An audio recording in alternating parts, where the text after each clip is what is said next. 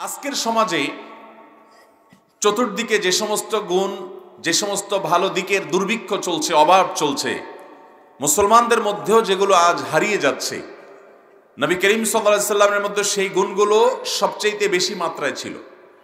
যে গুণগুলো দিয়ে তিনি অন্য সবার থেকে পৃথক হতেন, তাকে অন্য সবাই থেকে আলাদা করা যেত, সবার থেকে তাকে উজ্জ্বল দেখাতো যে সমস্ত গুণ এবং বৈশিষ্ট্যের কারণে অত্যন্ত দুঃখজনক, বেদনাদায়ক। আমরা যারা নিজেদেরকে মুসলমান দাবি করছি, সেই গুণগুলো আজ আমাদের কাছ থেকে একেবারে হারিয়ে যাওয়ার পথে। এরকম কয়েকটা গুণের কথা আমরা বলতে চাই। নাম্বার এক, আমানতদারিতা। নবী করিম সাল্লা সাল্লামের গুরুত্বপূর্ণ একটা বৈশিষ্ট্য ছিল। তার একটা চারিত্রিক দিক ছিল তিনি আমানতদার ছিলেন, বিশ্বস্ত ছিলেন। কীরকম বিশ্বস্ত ছিলেন? আপনারা সবাই জানেন, তিনি নবী হিসাবে মক্কার মানুষের কাছে পরিচিত হওয়ার আগে আল আমিন হিসাবে পরিচিত ছিলেন। কি নামে পরিচিত ছিলেন? আল আমিন মানে কি? বিশ্বস্ত, বিশ্বাসী, নির্ভরযোগ্য, আমানতদার, যাকে বিশ্বাস করা যায়, যার প্রতি আস্থা রাখা যায়, যার ব্যাপারে কোনো টেনশন নাই। যে তিনি কখনো আমানতের খেয়ানত করবেন না। তিনি আমানতের খেয়ানত করবেন না, এই মর্মে নিশ্চিত হওয়া যায়। এরকম আমানতদার, এরকম বিশ্বস্ত, এরকম নির্ভরযোগ্য নবী করিম সাল্লা সাল্লাম এই সার্টিফিকেট অর্জন করেছেন স্বয়ং মক্কার মুশ্রিকদের কাছ থেকে। কাদের কাছে? ভিন্ন ধর্মাবলম্বী মুশ্রিক যারা শির করত নবী সাল্লাহ সাল্লামের সাথে যারা দুশ্মনী করেছে, সেই মানুষগুলোর কাছে তিনি আল আমিন, এই উপাধি পেয়েছেন। সবাই জানত যে দুনিয়া অনেক ওলট পালট হয়ে যেতে পারে, কিন্তু মুহাম্মদ কখনো বিশ্বাস ভঙ্গ করতে পারে, আমানতের খেয়ানত করতে নবী করিম সাল্লাহামের পরে এই আস্থা মক্কার মানুষের ছিল কি ছিল না। যার কারণে তারা তাকে নাম দিয়েছেন কি? আল আমিন, মোহতারাম হাজরিন। এই বিশ্বস্ততার গুণ আজ আমাদের সমাজে প্রচণ্ড রকমের এর অভাব চলছে। বিশ্বস্ত এবং নির্ভরযোগ্য মানুষ আপনি দু চোখ বন্ধ করে একটু যদি খোঁজেন মনে মনে, তো একজন বিশ্বস্ত মানুষের চেহারা চোখে ভাসে উঠতে কষ্ট হবে। ঠিক না বে ঠিক? আপনি পৃথিবীর যেখানে থাকেন না কেন, আপনি দেশের যে কোনো গ্রামে, যে কোনো শহরে থাকেন না কেন, একটু চোখ বন্ধ করে একটু খোঁজেন, এমন পাঁচটা চেহারা বের করার চেষ্টা করেন যে এই লোকের ব্যাপারে কোনো ভয় নাই, সে আমার কোনো ক্ষতি পৃথিবীর সবচেয়ে লোভনীয় বিষয় যদি তার কাছে রাখা হয়, তবুও সে বিশ্বাস নষ্ট করবে না। সে আমানতদার, সে বিশ্বাসযোগ্য, সে নির্ভরযোগ্য, পাহাড় টলবে সেট করার মতো মানুষ এই সমাজে অনেক বেশি না কম। এই মক্কায় তিন দিন অবস্থান করবে। আমি হিজরত করে চলে যাচ্ছি, সাথে তো আবু বকর তার সাথে ছিলেন। আলী তালকে বললেন যে, তিন দিন তুমি অবস্থান করবে তোমার কাজ হবে আমার কাছে মক্কার বিভিন্ন মুশ্রিক অন্য ধর্মের মানুষ সাজে আমানত রেখেছিল। টাকা পয়সা সোনা দয়না মূল্যবান আসবাবপত্র, এগুলো যারা জমা করে রেখে গিয়েছিল, এগুলো তোমাকে আমি বুঝাই দিয়ে যাচ্ছি। এটা অমুকের এটা অমুকের এটা অমুকের। আমি চলে গেলে তুমি এই সবগুলো যার যার জিনিসপত্র তাকে বুঝাই দিবা, তারপর তুমি মদিনায় আসবা। তিন দিন তুমি অবস্থান করবা, সবার আমানত বুঝাই দিবা। যেই মক্কার মোর্শেকদের অত্যাচারে অতিষ্ঠ হয়ে নিজের মাতৃভূমি ত্যাগ করে চলে যেতে হচ্ছে নির্মমভাবে, সেই মানুষগুলো যে আমানত রেখেছে, সেই আমানত কীভাবে তাদের কাছে পৌঁছানো হবে, তার রোড ম্যাপ তিনি তৈরি করে দিয়ে তারপরে তিনি রাতের আধারে মক্কা থেকে বের হয়ে মদিনা পথে রওনা হয়েছেন। সেই নবীর উম্মত আমরা। সাল্লাহ আলাইহি ওয়াসাল্লাম। মোহতারাম হাজরিন মুশেকরা নবী করিম সাল্লামকে নবী হিসাবে, রসুল হিসাবে স্বীকৃতি দিতে চাইতো না। তাদের ইগোর কারণে, বাপদাদার ধর্ম টিকিয়ে রাখার জন্য নানা কারণে। কিন্তু নবী করিম সাল্লামের প্রতি তাদের আস্থা, তাদের বিশ্বাস, তাদের ভক্তি, তাদের শ্রদ্ধা, তাদের নির্ভরতা, এটা এই পর্যায়ে ছিল যে অমুসলিম তার শত্রু মুশ্রিক মক্কার কাফেররা পর্যন্ত তাকে বিশ্বাস করত। আর আজকে আমাদের অবস্থা কি? অমুসলিমরা বিশ্বাস করবে তো পরের কথা।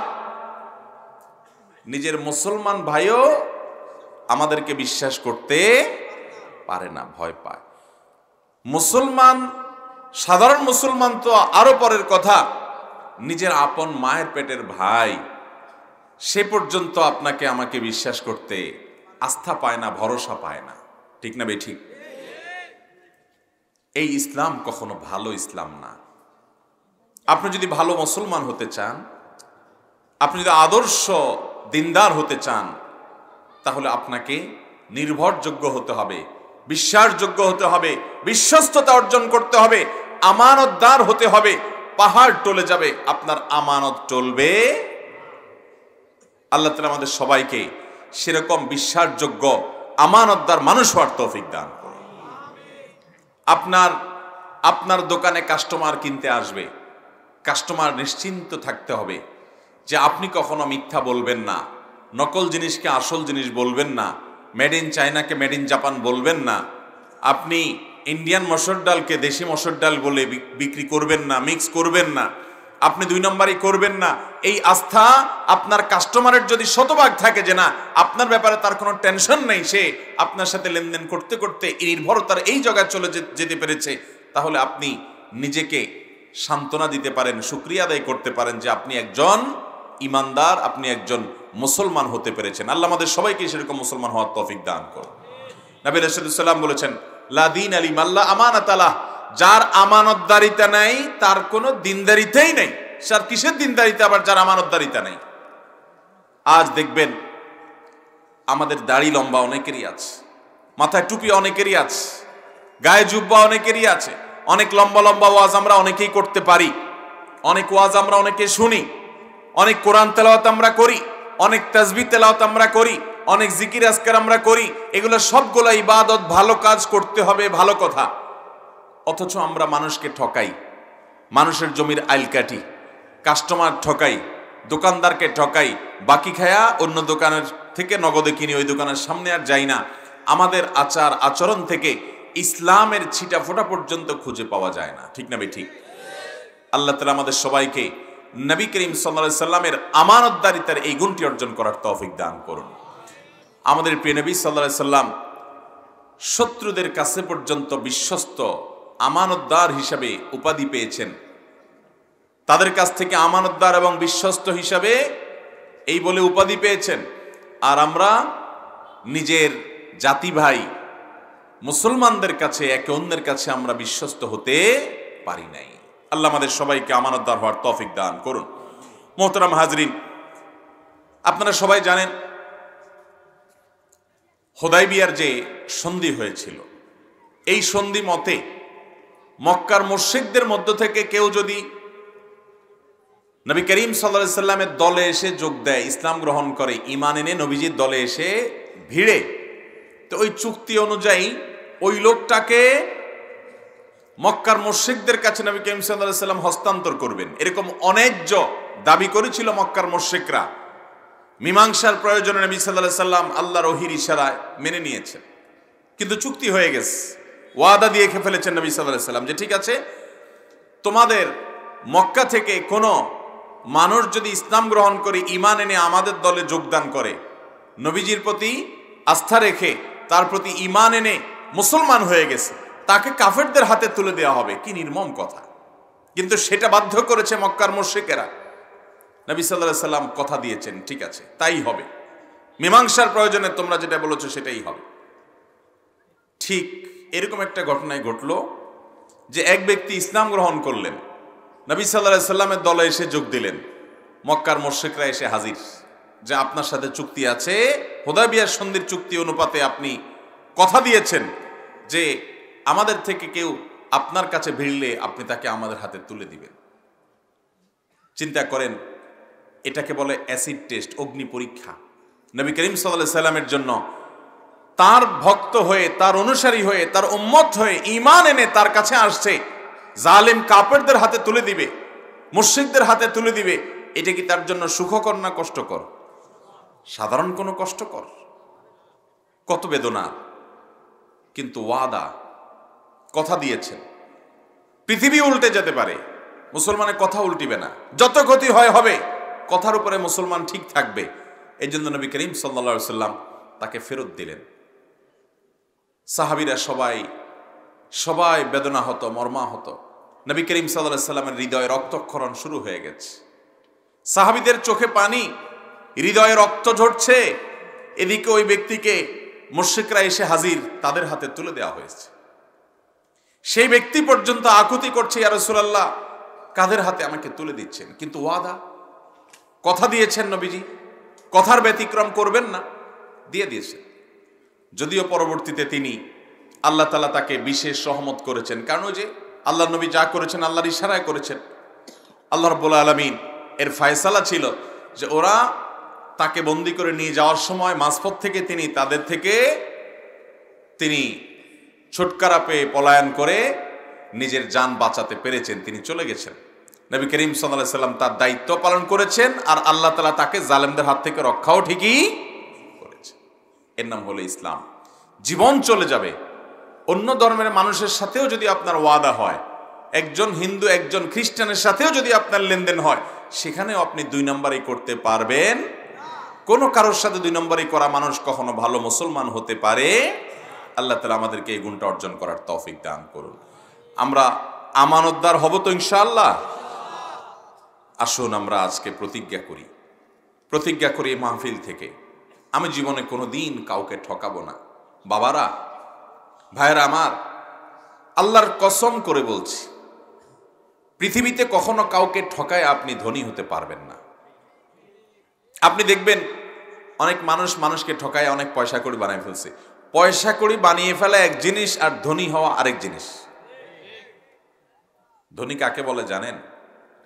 নবীজি সাল্লা সাল্লাম বলেছেন, লাইসাল গেনা বিকাসরাতিল আর গেনা অনেক পয়সা পাতি বানায় ফেলছেন। বিরাট ব্যাংক ব্যালেন্স হয়ে গেছে। অনেক সহায় সম্পদ করে ফেলেছেন। এটার নাম ধনী হওয়া নয়। এটার নাম ধনী হওয়া নয়। ধনী হওয়া কোনটা?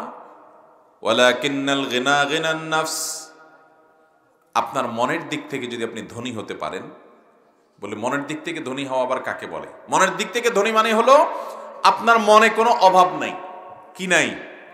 কোনো অভাব নাই, কোনো চাহিদা নাই। আল্লাহ আপনাকে যা দিয়েছেন সেটা নিয়ে আপনি মহা সুখী। আল্লাহ আমার আর কোনো ডিমান্ড, চাহিদা নাই, আলহামদুলিল্লাহ। আমার যেটা আছে এটাতে আমি মহা সুখী। কোনো ডিমান্ড নাই আল্লাহ। ইমান নিয়ে দুনিয়া থেকে চলে যেতে পারলেই হয় ডাল খেয়ে। বাস, এই যে আপনি মনের দিক থেকে সচ্ছল, মনে আপনার কোনো অভাব নেই আপনি হলেন প্রকৃত ধনী। আরেকজনের আল্লাহ রব্বুল আলমিন তাকে চারতলা বাড়ি করার তৌফিক দিয়েছেন। তিনি চারতলা করার পরও পারমিশন আর নাই, তারপরও রড বাইর করে রাখছে যে ওইটার সাথে জোড়া লাগায় সাড়ে চারতলা বানাবে। তাহলে এই লোকটার বাড়ি অনেক বড় হতে পারে, তালা অনেকগুলো থাকতে পারে, টাকা অনেকগুলো থাকতে পারে, কিন্তু রড বাইর করে রাখছে মানে হলো তার এখনও অভাব আছে। তার এখনও ডিমান্ড তো যতক্ষণ পর্যন্ত আরও চাই, এই ডিমান্ড আছে, সে তো অভাবই, কারণ তার কম আছে, ডিমান্ড আছে, আর যার অভাব নাই, সে যা পেয়েছে, এটা পেয়ে মন খুলে আল্লাহকে শুক্রিয়া জানায়, বলছে, আলহামদুলিল্লাহ, মালিক, আমি অনেক পেয়েছি, আমার আর দরকার নেই, দুনিয়াতে তো যা পাইছি, এত না হলেও চলে। আমার তো আখেরাতে দরকার এটাতে কোনোভাবে পার করে দিব। এই লোকটা হলো আসল ধনী এবং আসল সুখী মানুষ, সমৃদ্ধ মানুষ। এই জন্য ভাইরা, নিজে ধনী হওয়ার মিথ্যা প্রলোভনে পড়ে শয়তানের প্ররোচনায় পড়ে আমার জীবদ্দশায় নাকের ডগা নিঃশ্বাস থাকাকালীন কোনো মানুষকে ঠকাবো না। আল্লাহ আমাদের সবাইকে এই কথার প্রতিজ্ঞা করার তফিক দান করো নিয়ত করবেন তো ইনশাআল্লাহ। যুবক ভাইয়েরা প্রতিজ্ঞা করেন চাকরি যদি হয় সরকারি বেসরকারি কোনো প্রতিষ্ঠানে আশেপাশে সব চোর ডাকাত দেখবেন সৎ থাকার চেষ্টা করেন সৎ থাকার চেষ্টা করেন। চোর ডাকাতরা পয়সাওয়ালা হতে পারে, সুখী হয় না কখনো। কেন সুখী হয় না জানেন? কারণ ওর ভেতরটা ওকে বলে যে, তুমি তো টিনচোর গমচোর সুদখোর, ঘুষখোর, দুই নম্বর টাকার মালিক। তার ভেতরটা তাকে সবসময় জ্বালাইতে থাকে জ্বালাইতে থাকে। মানুষ বাহবা দেয় মাশাল্লাহ হাজি সাহেব, গাজী সাহেব পয়সা আলা সাহেব, চেয়ারম্যান সাহেব, সভাপতি সাহেব, সেক্রেটারি সাহেব, অমুক সাহেব, তমুক সাহেব। কিন্তু সে জানে ভেতর থেকে সে একটা আস্ত চোর। তার নিজের পরিচয়, তার নিজের কাছে কি? তো যার নিজের ভেতর থেকে তাকে চোর বলতে থাকে, দুনিয়ার সব মানুষ তাকে ফেরেস্তা বললেও সে কখনো মনের দিক থেকে সুখী হতে পারে আর একজন মানুষ তাকে সারা দেশের, সারা সমাজের, সারা গ্রামের বাপ মা, ভাই বোন বন্ধু বান্ধব স্বামী, স্ত্রী, ছেলে মেয়ে সবাই বলে, তুমি ফকির, তুমি গরিব, তোমার কিচ্ছু নাই, তুমি কিছু করতে পারলে না, কি চাকরি করলা, একটা জমি কিনতে পারলা না, একটা বিল্ডিং করতে পারলা না, কুড়ে করে থাকো, ব্যাংক ব্যালেন্স নাই। সবাই তাকে অভাবী বলে, কিন্তু সে জানে জীবনে কখনো সে একটি অবৈধ টাকা কখনো ছুঁয়ে দেখে নাই, স্পর্শ করে নাই। তার ভেতরটা তাকে বলে যে তুমি সৎ ছিলা এই জন্য মনের দিক থেকে সে সুখী হয়। মানুষ তাকে মনে করে, আহারে, লোকটা এত বছর চাকরি করছে, কিছুই করতে পারে নাই। আহারে, বেচারা এত বছর বিদেশ করছে, কিছুই করতে পারে নাই। লোকটা এত বছর দোকানদারি করছে, তেমন কিছু করতে পারে নাই। অন্যান্য দোকানদাররা তো আঙ্গুল ফুলে কলা গাছ হয়ে গেছে। কারণ দেশি মসুর ডাল, ইন্ডিয়ান মসুর ডাল মিক্স করে দেশি বলে বিক্রি করে দিছে, কম দামে কিনছে, অনেক বেশি দামে লাভ করছে। সে তো রাতারাতি বড়লোক হয়ে গেছে। আর এই বেচারা জীবনে কিছু করতে পারে নাই। সবাই মনে করে সে কষ্টে আছে। তার ভিতর থেকে তাকে বলে যে, সবাই সমাজের চুরি ডাকাতি কম বেশি করলেও আমি কখনো করি নাই। এই যে মনের ভেতর থেকে তার একটা আস্থা, একটা নির্ভরতা, নিজের প্রতি নিজের একটা আত্মতৃপ্তি থাকে যে আল্লাহ আমাকে কখনো অন্যায় পথে পরিচালিত করেন নাই, আমাকে আল্লাহ লোভ থেকে বাঁচিয়ে রেখেছেন। তার ভেতর থেকে এই যে একটা আনন্দ, এই যে একটা তৃপ্তি তার মধ্যে আসে, এই কারণে সবাই তাকে দুঃখী বা অভাবী মনে করলেও সে আসলে সুখী। কারণ তার মন তাকে সেই কথা বলছে, যে কথা শুনে সে তৃপ্তির ঢেকুর তুলতে পারে যে আলহামদুলিল্লাহ আমি সৎ থাকতে পেরেছি। সমাজের সাধারণ স্রোত সবাই হারামের দিকে গেছে, আমি বিকল্প পথে আছি, ভিন্ন পথে আছি, সত্যের উপরে থাকার জন্য সংগ্রাম করে চলে গেছি। এই একটি কারণে সে হলো সুখী, সে হলো আসল সমৃদ্ধ মানুষ। এই জন্য যুবক ভাইয়েরা, সৎ জীবনযাপন করার প্রতিজ্ঞা করবেন তো ইনশাল্লাহ কিন্তু সৎ হতে হলে, সৎ হতে হলে আগে ভাগে শুনে রাখেন। বউটা যদি লাইন মতো পান তো ভালো। যদি না পান, তাহলে কপালে দুর্গতি আছে। কারণ এই বউ আপনাকে রেখে চলেও যেতে পারে, যদি নাও যায়, তাহলে নিয়মিত হয়তো আপনাকে খোঁচাবে।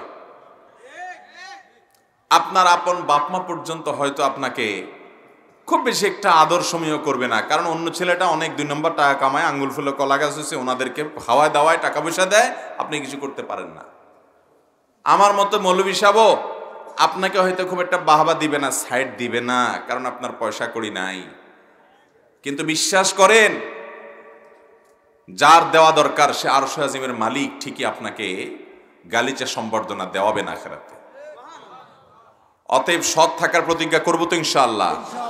আল্লাহ আমাদের সবাইকে সেই তৌফিক দান করুন। মোহতারাম হাজরিন, নবী করিম সাল্লাহ সাল্লামের কাছে এক ব্যক্তি অমুসলিমদের সাথে ছিলেন রণাঙ্গনে যুদ্ধক্ষেত্রে। যুদ্ধক্ষেত্রে অমুসলিমদের সাথে ছিলেন। সেখান থেকে ওই ভদ্রলোক নবী করিম সাল্লাহতে ইমান তার অন্তরে আগে থেকেই ছিল, কিন্তু প্রকাশ করবার নবীজির দলে ভেড়ার সুযোগ পাচ্ছিলেন না। তিনি যুদ্ধক্ষেত্রে কাফেরদের অমুসলিমদের মুর্শিকদের ছাগলের রাখালের দায়িত্ব পালন করছিলেন। ছাগল চড়ানোর ভান করে ছাগল সহ নবী সাল্লাহ সাল্লামের দলে এসে ভিড়ে গেছেন ছাগল চড়ানোর ভান করতে করতে, আগাইতে আগাইতে। এরপরে এসে কালিমা শাহাদা পাঠ করে ইসলাম গ্রহণ করেছেন তার সাথে ছাগলগুলো আছে কাদের ছাগল? মুর্শিকদের ছাগল। নবী সাল্লা সাল্লাম বললেন, তুমি ইমান এনেছ, আহলান মুসাহলান মোস্ট ওয়েলকাম, ভালো কথা। কিন্তু তোমার যে ছাতে থাকা ছাগলগুলো, এগুলো তো আমাদের শত্রু পক্ষের। শত্রুর সাথে আমাদের লড়াই চলছে, লড়াই চলবে। অন্যায়কে দূরীভূত করার জন্য, বাতিলকে প্রতিহত করবার জন্য, অশান্তি দূর করবার জন্য আমাদের লড়াই করতে হলে আমরা লড়াই করব, ঠিক আছে? কিন্তু তাই বলে তাদের সম্পদ তুমি নিয়ে আসবে এবং সেটা আমাদের সাথে ভিড়ে তুমি এগুলো আমাদেরকে দিয়ে দিবা তুমি রেখে দিবে। এই আমানতের খেয়ানত্ব করা যাবে না, তারা তোমাকে দিয়েছে বিশ্বাস করে। বিদায় তাদের ছাগল তাদের কাছে ফেরত দিয়ে তারপর আমাদের দলে আসো। এর নাম ইসলাম। এর নাম কি ভাই? অথচ আজ আমরা মুসলমানের সম্পদ মেরে খাই। আল্লাহ তালা আমাদেরকে আমানতদার হওয়ার তৌফিক দান করুন। নবী করিম সাল্লা সাল্লাম যখন মক্কা বিজয় করলেন, মক্কা বিজয় করার পর মক্কার চাবি নিয়ে বাইতুল্লার চাবি নিয়ে, কাবার চাবি নিয়ে মসজিদে প্রবেশ করলেন। মসজিদে পরিচ্ছন্নতা অভিযান চালালেন। শির্ক মুক্ত করলেন। এরপর নবী সাল্লা সাল্লাম ডাক দিলেন, এই চাবি ছিল ওসমান ইবনে তালহা ইবনে আবি তালহার কাছে। ডাক দিলেন, কই সে? তারপরে বললেন, আল্লাহ রব্বুল আলমীর নির্দেশ করেছেন, ইন্নাল্লাহ আমরুকুম আন্তু আব্দুল্লাহ মানাতিলা আহলিহা। আমানত, যার আমানত তার কাছে পৌঁছে দাও। এই চাবি যেহেতু তোমাদের কাছে নেওয়া হয়েছে, মক্কা বিজয় করেছি আমরা, ঠিক আছে, কিন্তু চাবি তোমাদের কাছেই থাকবে। মক্কার শাসন আমাদের শাসন আমাদের চলছে। নবী সাল্লাহ সাল্লামের পদতলে গোটা মক্কা চলে এসেছে। কিন্তু তারপরও ওসমান এবনে তালহা এবনে আবি তালহা মক্কা বিজয় করার পর তাদের কাছে থাকা চাবিটা নিয়ে তিনি দরজা খুলেছেন। কিন্তু এই চাবি, কাবার চাবি থাকবে, এটা একটা গৌরবের ব্যাপার। কিন্তু সেই চাবি পর্যন্ত নবী সাল্লাহ সাল্লাম নিজেদের কাছে রাখেন নাই। যার কাছ থেকে নিয়েছেন, তার কাছে আবার ফেরত দিয়েছেন। এর নাম হলো ইসলাম। ক্ষমতা আছে, তাই বলে সে দাপট দেখায় না। দুই নম্বরই করে আল্লাহ তালা আমাদেরকে সেরকম নেককার, ইমান, আমানতদার মানুষ হওয়ার তৌফিক দান করুন। ভাইরা আমার, নবী করিম সাল্লাহ সাল্লামের এই আদর্শের অনুসরণ করেছেন যুগে যুগে আল্লাহর প্রিয় বান্দাগণ, আল্লাহর নেককার বান্দাগণ, আমাদের পূর্বসরী মনীষীগণ, আজ সেটা আমাদের মধ্যে নাই।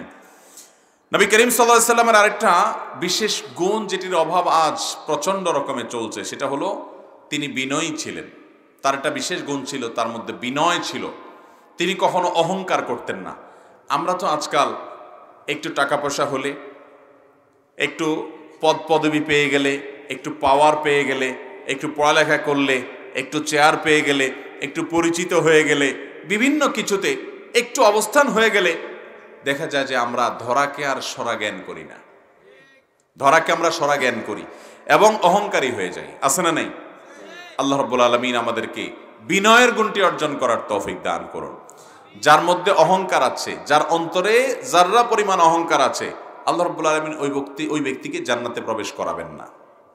ওই ব্যক্তি কোথায় যাবে না? জান্নাতে যাবে না। এই জন্য অহংকার মুক্ত অন্তর নিয়ে আল্লাহর কাছে সাক্ষাৎ করতে হবে। নিজেকে সবসময় তুচ্ছ মনে করতে হবে অন্যদের চাইতে। যে, আমি হয়তো নিজেকে অনেক বড় মনে করছি, শয়তান আমাকে বড় মনে করাচ্ছে, কিন্তু আল্লাহ তালার কাছে আমি বিনয়ী হওয়া ছাড়া কখনো আল্লাহর কাছ থেকে জান্নাতের আজর আমি লাভ করতে পারব না। মোহতারাম হাজরিন, নবী করিম সাল্লাহ আলি ওয়াসাল্লাম তার মধ্যে বিনয় কেমন ছিল দেখেন? তিনি খুব সাদাসিদে জীবন যাপন করতেন। যখন মদিনার রাষ্ট্রনায়ক ছিলেন তিনি তখনও পর্যন্ত তার ঘরে, তার জীবন যাপনে তেমন কোনো পরিবর্তন আসেনি। তিনি আগের মতোই চলাফেরা করতেন। ঘোড়ায় যারা চড়ত, তাদেরকে খুব বেশি খুব বেশি সমাজের শৌখিন এবং বিলাসী মানুষ বা সম্পদশালী মানুষ বা সমাজের সম্ভ্রান্ত মনে করা হতো, অভিজাত মনে করা হতো। আর যারা গাধার উপরে গাধার পিঠে চড়ে, তাদেরকে একটু গরিব, অভাবী বা এরকম টাইপ মানুষ মনে করা হতো। আমার নবী করিম সাল্লাহ সাল্লাম ঘোড়ার উপরেও চড়তে দ্বিধা করতেন না ওঠে চড়তেও দ্বিধা করতেন না, আবার গাদার উপরে চড়তেও তার কখনো দ্বিধা হতো। নবী করিম সাল্লা সাল্লাম এত বিনয়ী হয়ে চলাফেরা করতেন। তার চলাফেরা দেখে বোঝার উপায় ছিল না তিনি রহমতুল্লাহ আলমিন। তিনি মদিনার রাষ্ট্রনায়ক।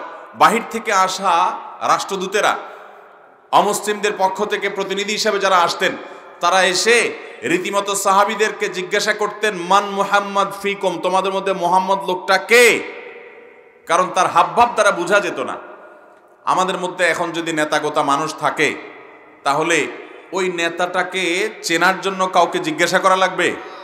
একশো জন মানুষের মধ্যে নেতা সাহও আছে।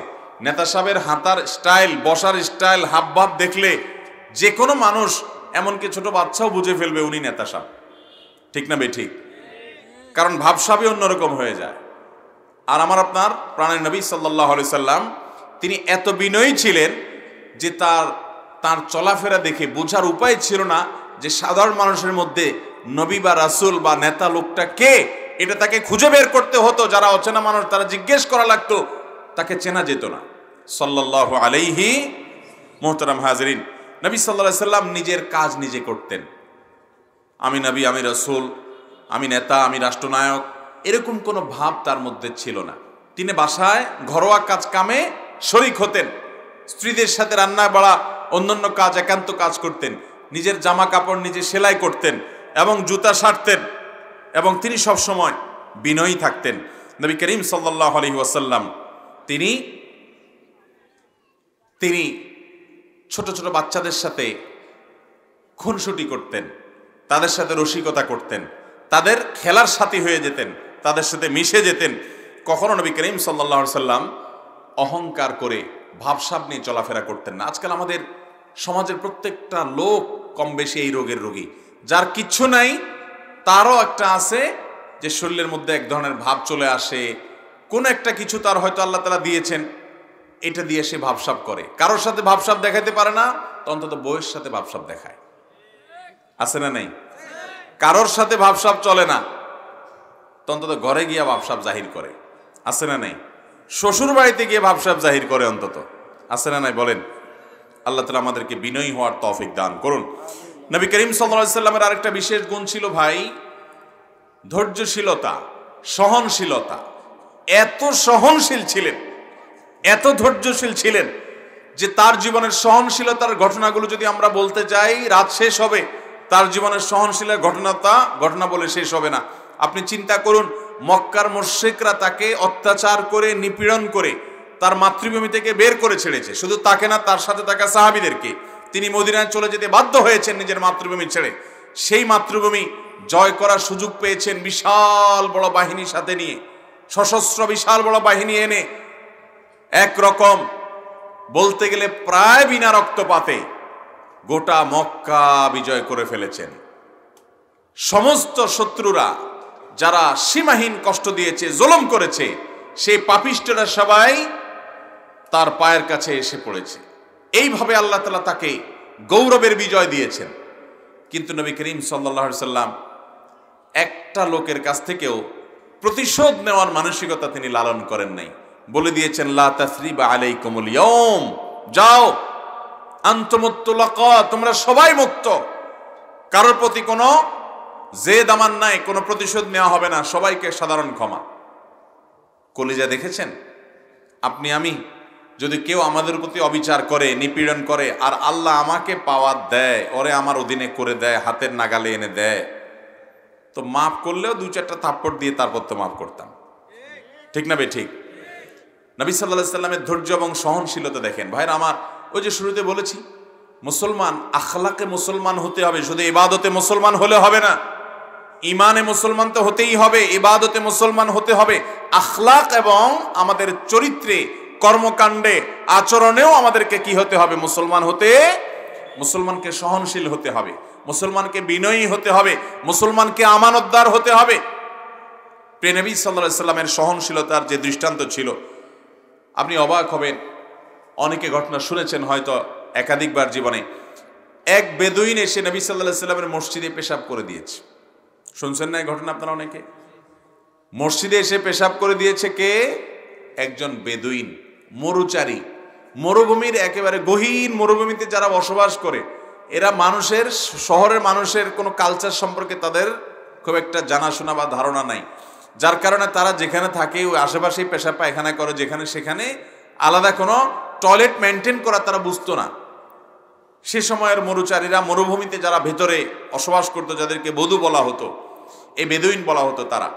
তো এরকম একজন বেদুইন নবী সাল্লাহ সাল্লামের কাছে আসছেন। আসার পর মসজিদে নবীতে ঢুকে এক কোনায় বসে উনি পেশাব শুরু করে দিস। সাহাবিরা সবাই তো ধমক দিয়ে হাতারাতা গোছানো শুরু করছেন। আরে মসজিদে পেশাব করতেছে, বেটা বেয়াদ নবী করিম সাল্লাহ সাল্লাম বললেন, সাহাবিদেরকে দাও হুলা তুজরিমু, তাকে ছেড়ে দাও, তাকে ধমক দিও না, তোমরা পেশাব করতে দাও তাকে। দেখেন, মসজিদে পেশাব করতেছে, নবীজি বলতেছে, কি করো? তাকে পেশাব করতে দাও, ধমক দিও না। কারণ ধমক দিলে এখন হঠাৎ তো সে পেশাব বন্ধ করে ফেললে অসুখ হয়ে যাবে, পেশাবের রোগ হয়ে যাবে। নবী সাল্লাম তাকে পেশাব করতে দিলেন, লোকটা পেশাব করলেন। পেশাব করার পর নবীজি সাল্লাহ সাল্লাম তাকে ডাকলেন, কাছে আনার পর এরপরে বললেন ভাই, এই যে মসজিদ আমাদের, এই মসজিদ আমরা নির্মাণ করেছি আল্লাহর ইবাদতের জন্য। এটা আল্লাহর ঘর, আমরা এখানে শুধু ইবাদত করি। আর পেশাব পায়খানা করার জন্য মলমূত্র ত্যাগের জন্য আমরা আলাদা টয়লেট বানাই দূরে, সেখানে গিয়ে আমরা মলমূত্র ত্যাগ করি। এই যে ঘরে আমরা থাকি ইবাদত বন্দি করি, সেখানে আমরা মলমূত্র ত্যাগ করি না। এই শহরের কালচারটা তাকে সুন্দর করে বিনয়ের সাথে বুঝাই দিলেন। এবং যেহেতু সে পেশাব করছে, এটা তারে দিয়ে পরিষ্কার করানোর কথা। নবীজি বললেন, না অন্য একজনকে বললেন, পানি নিয়ে আসো এক বালতি। এনে পেশাবে ঢেলে পরিষ্কার করো। যেহেতু লোকটা বাহির থেকে আসছে, বুঝতে পারে নাই। তিনি মেহমান, অতএব তাকে কষ্ট দেওয়া যাবে না। তাকে ডেকে এনে সুন্দর করে নম্রতার সাথে বুঝাই দিলেন আর অন্য একজনকে দিয়ে বললেন যে, তুমি একটু সব হবে যেহেতু আরেকজনের খেদমত করলে। তুমি খেদমত করো, সেবা করো, তুমি পরিষ্কার করো। তার পেশাবটা তাকে দিয়ে পর্যন্ত পরিষ্কার করালেন না। ধমক দিতে সাহাবিদেরকে নিষেধ করলেন। ডেকে এনে সুন্দর করে বুঝাই দিলেন। লোকটা তো অবাক হয়ে গেছে। আরে, মানুষ এরকম ফেরেস্তার মতো আচরণ করতে পারে? আমি এত বড় ভুল করলাম? যেখানে পেশাব করার জায়গা না, সেখানে করে দিলাম। লোকটা আমাকে ধমক না দিয়া, আমাকে দিয়ে পরিষ্কার না করায়া উল্টা আমাকে এত সুন্দর করে বুঝাই দিল? তিনি খুশির চোটে, ওই যে বেদুইন মানুষ, মরুভূমির মানুষ, শিক্ষিত না, বুঝে না কিছু। তিনি আবেগের চোটে বললেন আল্লাহ হামনি ও মুহাম্মাদা। ওয়ালা তার হাম্মাহানা আহাদা। ইমান আনছেন নবীজির আচরণে, আখলাক দেখে ইমান আনছেন। এরপরে বলতেছে আল্লাহ হম্মার হামনি ও মুহাম্মাদা ওয়ালা তার হাম্মাহানা আহাদা। আল্লাহ, যেহেতু মোহাম্মদ আমার সাথে ভালো আচরণ করছে, আমাকে আর ওনাকে আমাদের দুজনকে মাফ করিও, আর এগুলো একটারও মাফ করিও না। কারণ আমার দমক দিস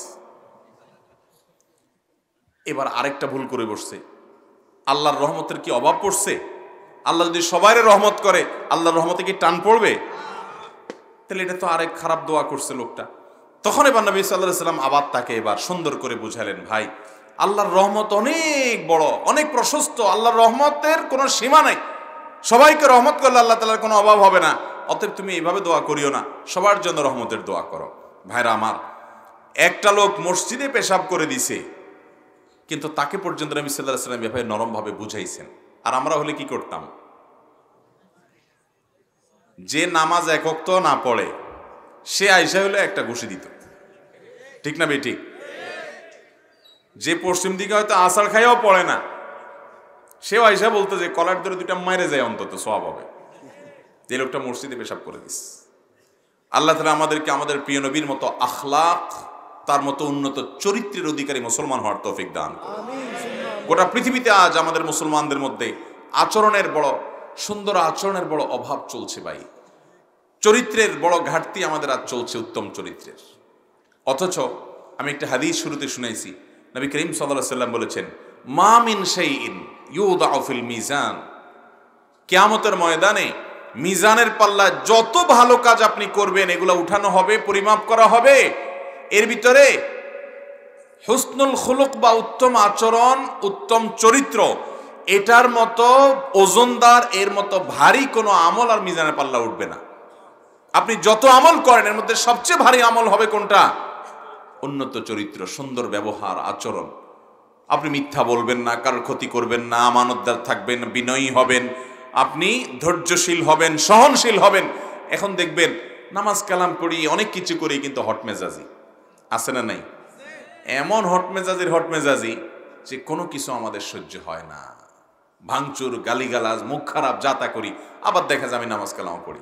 আছে না নাই? আল্লাহ তালা আমাদের সবাইকে সুন্দর চরিত্র এবং সুন্দর গুণাবলী অর্জন করার তৌফিক দান করুন। মোহতারাম হাজরিন, নবী করিম সাল্লাহ সাল্লামকে যখন তায়েফবাসী আঘাত করে রক্তাক্ত করেছে, অনেক কষ্ট দিয়েছে, তার শরীরের রক্ত পড়ে জুতার সাথে পা লেপটে গেছে, এরকম কঠিন অবস্থা হয়ে গেছে, নির্মমভাবে তার তার প্রতি অত্যাচার করা হয়েছে। তায়েফের ছোট ছোট বাচ্চাদেরকে, ছোট ছোট পোলাপানকে লেলি দিয়েছে তায়েফবাসী, তায়েফের কাফেররা নবীজির বিরুদ্ধে। পাথর মেরে পাগলের সাথে যেরকম হাসি তামাশা করত, তার সাথে সেরকম হাসি তামাশা শুরু করেছে। নবী করিম সাল্লাহ সাল্লাম এত কষ্ট যাদের থেকে পেয়েছেন, ওই মানুষগুলোর ব্যাপারে আল্লাহর কাছ থেকে পাহাড়ের দায়িত্বে থাকা ফেরেস্তা এসে বলেছেন, হে আল্লাহ রসুল, আপনাকে অনেক কষ্ট দিছে এরা। আপনি হুকুম করে দেন, যারা তায়েফে গেছেন তারা জানেন, মক্কা থেকে তায়েফে যাওয়ার সময় দেখবেন পাহাড়ে ঘেরা। তো নির্দেশ চেয়েছেন, হে আল্লাহ রসুল, আপনি নির্দেশ দেন। শুধু মুখ দিয়ে বলেন, পাহাড় নিয়ন্ত্রণের দায়িত্ব আল্লাহ আমাদেরকে দিয়েছেন ফেরিস্তাদেরকে এটার কন্ট্রোল আমরা করি। এটার ব্যবস্থাপনা আমাদের হাতে। দুই পাশে পাহাড়কে আমরা এভাবে ধসিয়ে দিব। এবং এরা মিশে যাবে মাটির সাথে। আপনি শুধু হুকুম করেন। নবী করিম সাল্লাহ সাল্লাম তিনি তাদেরকে এভাবে ধ্বংস করে শেষ করার জন্য বদোয়া তো করেনি নেই, বরং দোয়া করছেন আল্লাহ আল্লাহ, আমার জাতিকে আপনি মাফ করে দেন। আমার প্রতি জুলুম করছে, নবীর প্রতি জুলুম করছে, চরম অন্যায় করছে এই জন্য তাদেরকে শাস্তি দিয়েন না। আপনি মাফ করে দেন, তারা বুঝে নাই, তারা জানে নাই, আপনি তাদেরকে মাফ করে দেন। এ হলো আমাদের প্রিয় নবী। আমরা তার উম্মত না। তার অনুসরণ করা লাগবে কি লাগবে না? আল্লাহ তালা আমাদের সবাইকে তার মতো এরকম সহনশীল এবং ধৈর্যশীল হওয়ার তৌফিক দান করুন।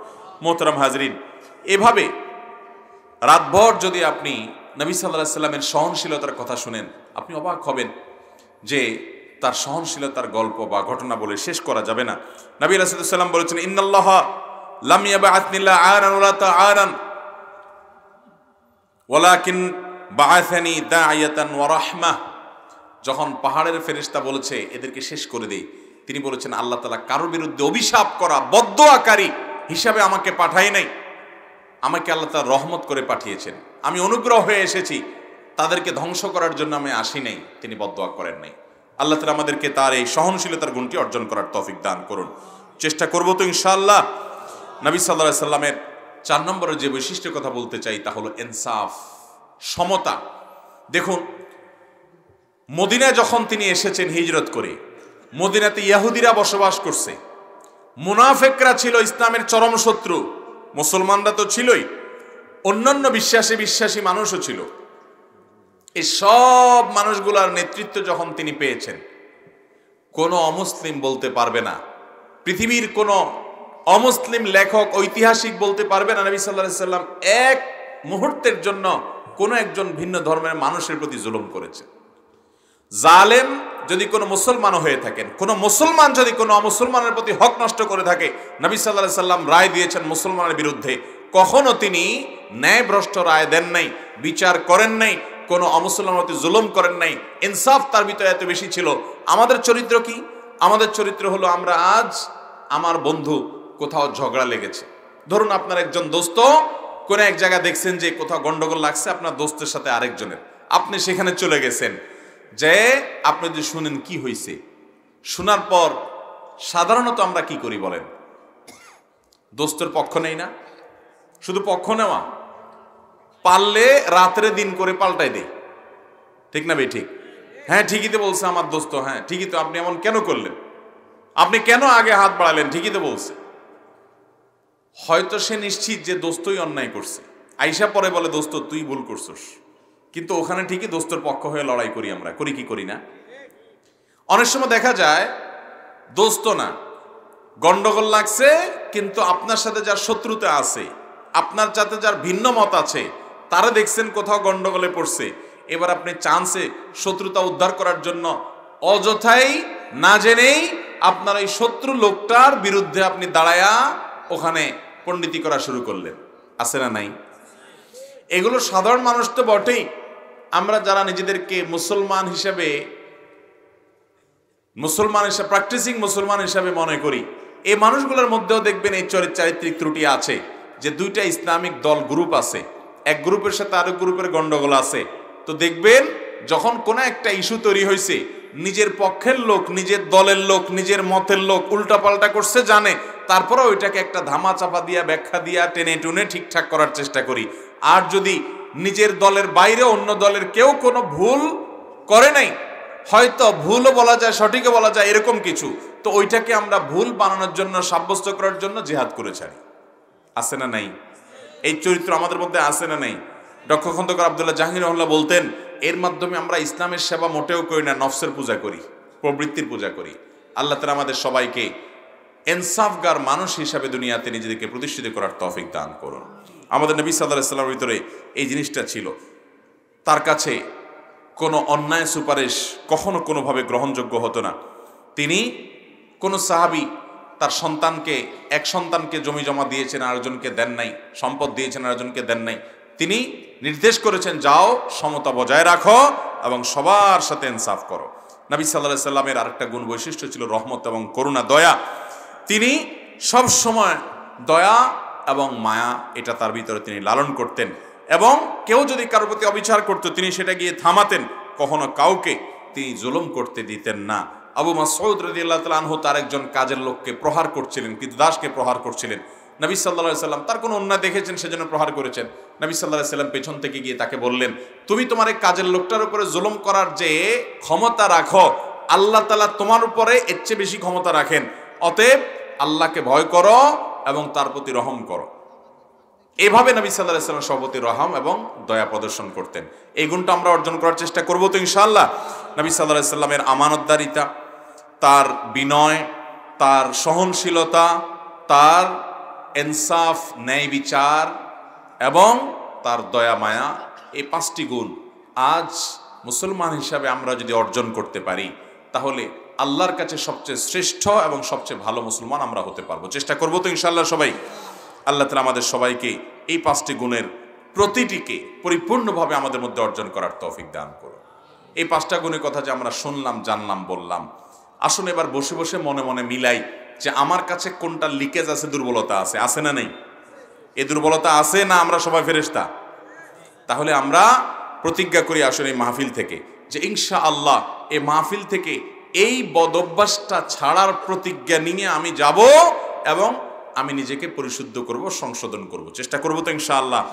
তাহলে ইনশাআল্লাহ আমাদের মাহফিল আয়োজন সার্থক হবে, সফল হবে। আল্লাহ তালা আমাদের সবাইকে তৌফিক দান করুন। জাজাকুমুল্লাহ খায়